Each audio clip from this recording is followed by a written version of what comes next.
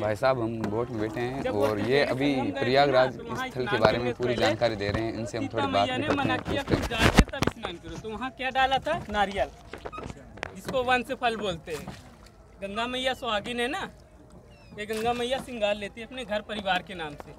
उसने डाला फिर उसके बाद तब अपना चरण डाला। किस लिए? खाली चरण? कोई पाँव नहीं डालता गरीब भी आते इसका मर्यादा कर दिया। देखते भैया बताना मेरा काम है। उसने नारियल डाल के फिर उसके बाद समय याचना मांगा।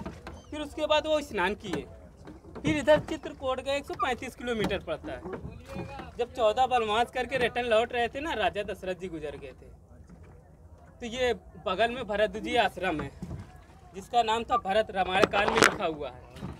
तो भरत ने जब राम को बताया ना दशरथ जी गुजान उसी पेड़ के नीचे किए थे भैया। जब वो पिंडदान कर रहे थे ना सीता मैया ने उस पेड़ को वरदान दिया था क्षय कभी नहीं होता है बारह मास हरा भरा रहता है। दूसरा पिंडदान कहाँ किया था? गया जी ने। गया जी ने। ये काशी। काशी। काशी काशी। का, ये देखिए विष्णु भगवान का मुख बोला गया प्रयाग। पेट का नाभि बोला गया है काशी। पैर का चरण बोला गया है गया। जहाँ सीता मैया ने अपने ससुर जी का पिंडदान किया था। और चौथा पिंडदान बद्रीनाथ कपाल क्रिया है। ये पितरों भी आसरा लगाए बैठे रहते हैं कि हमारे घर से आएगा, कोई खिलाएगा ये इसलिए ये बात बताया जाता है भैया। नहीं, आप संगम नहा के फिर से वापस पहुँच गए, मालूम चला पिंडदान करना तो फिर से रिटर्न आने से फ़ायदा क्या है? इसीलिए बताया जाता है। तो अपने अपने साइड से थोड़ा थोड़ा जल लगा लीजिए। भैया अपने अपने साइड से थोड़ा थोड़ा जल लगा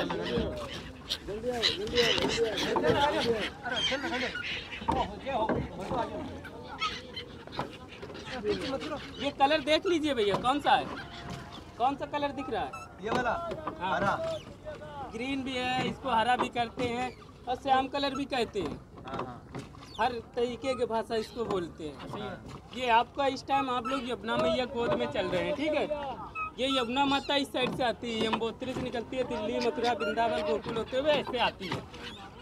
ये सूर्य भगवान की पुत्री है। सूर्य भगवान की पुत्री और शनि यमराज की बहन है। इसका जल लगाने से शनि का प्रकोप नहीं पड़ता।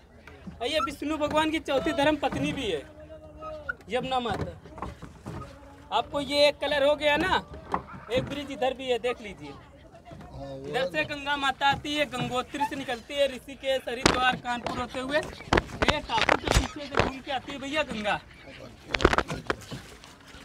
किधर में जाएँगे भैया? आपको उधर में दो कलर दिखेगा एक ग्रीन कलर का रहेगा एक ब्राउन कलर का। और सरस्वती माता जो है वो गुप्त है भैया वो दिखाई नहीं देती। सरस्वती माता गुप्त है।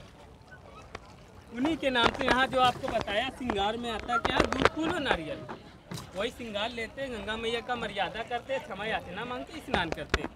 जो आया हाँ। जो आया है, जो नहीं आया, उसका भी नाम लेके भैया डाल सकते हैं नारियल।